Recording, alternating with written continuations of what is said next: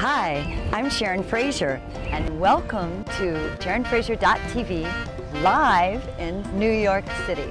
I'm here to show you the W exercise for your shoulders.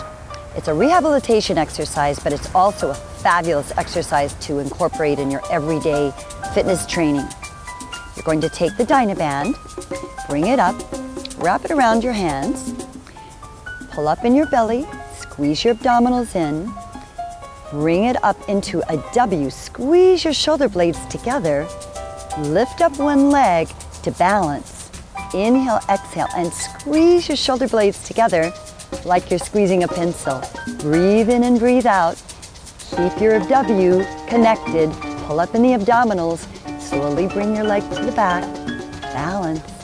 Breathe out.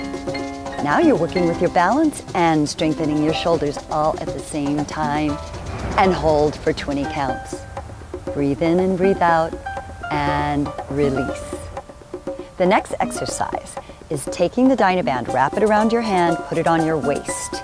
We're going out in a diagonal for your shoulders. Breathe in and breathe out. Bring the Dynaband up and bring it out. Reach it out. Exhale, pull the belly in and come down. For added benefit, let's stand on one leg and flex your foot. Breathe in and breathe out. Now you're working your leg, you're working your balance, you're working your quadriceps. And inhale and exhale. Exhale as you're going up. Breathe out. Inhale, exhale, and come down. The next exercise is taking the Dynaband and firmly putting it right into your waist.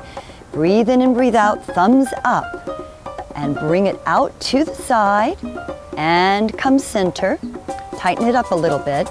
Inhale, exhale, it's holding right on your waist. Inhale, exhale, and your elbow stays into your waist. For added benefit, let's stand on one leg. Bring the leg to the back. Squeeze your hamstring. Straighten up your standing leg.